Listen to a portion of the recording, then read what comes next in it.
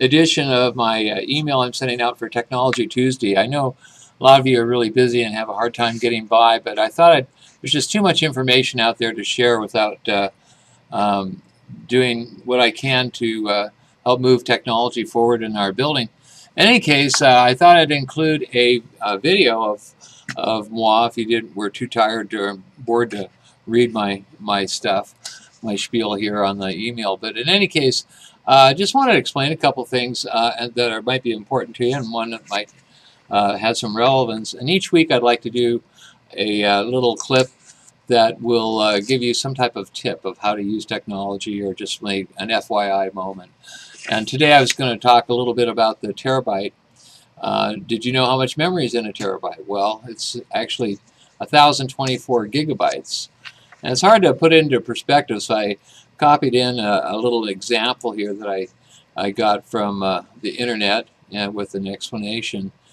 I, I recall uh, seeing years ago um, an example in a magazine of Bill Gates. He was strung up amongst the old uh, growth forest timbers in Oregon. Uh, he was in a crane and they had him strapped in at the, the very tips of these trees. And uh, there was a stack of paper that it was simulating that he was sitting on a stack of paper that went up to the top of these giant uh, trees. And uh, then there was a, a, stack of paper that was right next to him that came up about two-thirds of the way. And there, so the image, it was like an aerial shot of him uh, uh up there, and it, the it was uh, an example of how much information you could put on simply one CD um, disk. That's when they were like 650 megabytes. Well, that's about half of a gigabyte, a little over half a gigabyte. And uh, so we, then we became really comfortable using gigabytes. And then now we're talking terabytes, petabytes, teraflops, all of these. So what the heck are they? Well, um, to put it in perspective, uh, a terabyte is actually 1,024 gigabytes. So um, it's basically if you had high uh, high quality audio, you could probably in one terabyte it'll uh, support 2,000 audio clips, or as we might know, like the MP3 uh, quality, that'll handle about 14,000 clips. Uh, or four hours of movies, or or whatever you, you might say. So it's pretty. Uh, there's a lot of storage in a in a in a terabyte, and so hopefully this will help explain that to you.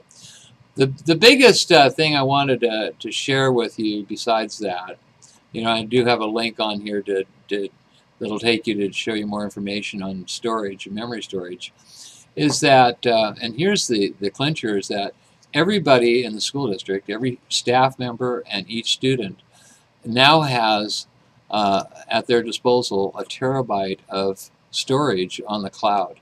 Um, that's uh, part of the Microsoft Office 365 agreement they have with us and many other districts. Um, so we have uh, our students and us, we all have a terabyte of storage of information available to it. All you got to do is log in to your Office 365 account to set it up. So you guys might be thinking, oh boy, so how do I set that up? Well, I've got a link on this email uh, to set up your Office 365 um, account an Office 365 portal. You'll see that link. Put in a username, and your username is just as if you would log into Novell, except for uh, you have a new email address, and I bet you may not have known that as well.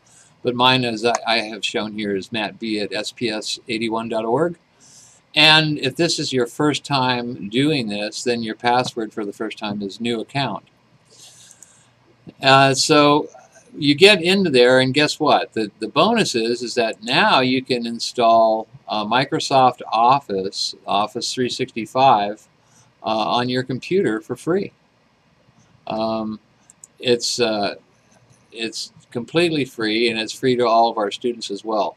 Even beyond graduation, students can maintain that memory and uh, get the use of Office 365 for up to one year upon their after their graduation so they can you know then transfer it to their own account later. So it's uh, it's really a, a pretty uh, cool thing. You can also um, not only install piece, uh, Office on your PC, Office Online, but you could do it on a Macintosh if you happen to be a Mac user, uh, as well as you can smart, install it on your smartphone or tablet too. So there's some really, really cool productivity tools in this suite of Office. It just might take a, a, little bit of time to look at it and get familiar with it, uh, but certainly it's uh, I'll assure you that it will make your life a lot uh, simpler in the long run. Um, you know, starting off, of course, you got the basics. You got Word, Excel, PowerPoint, uh, and OneNote. I don't know if many of you use OneNote, um, but I, that's a rather than using sticky notes, you can use OneNote and keep everything in, in one place. The benefit of using this cloud or the cloud computing is that, man, you can uh, you can collaborate and share documents with peers and it's it they have the security down so you don't have to worry about your documents getting stolen. Uh, you can also um, it's a great way to collaborate uh, with across groups. So we have our CLAD meetings and stuff. There may be a document that you're doing for um, um, for your advisory committee meetings etc so that, it, there's some great great great tools that way um, so in any case, if you need any any more information about uh, these products or other products, like I, I, I, mentioned, there's they have a Yammer, that's a new social site. They've got uh, one called Delve, that's kind of like the old Microsoft Office uh, briefcase, if any of you remember that. Uh, if you have any questions about any of these, feel free to just come on by and I'll help you get uh, logged in and get your account ro rolling.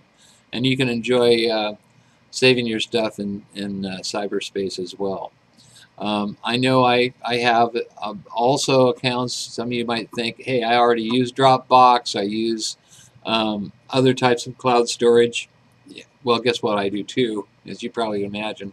But um, this, this is really a great centralized way to um, focus uh, what you do here uh, as educators and, uh, and do it, uh, all of the documents that you you keep you can keep it in one spot for our kids. So uh, again, uh, uh, thank you for taking the time to watch this little nerd moment of mine, and uh, uh, I'll, I'll be happy to help at any time.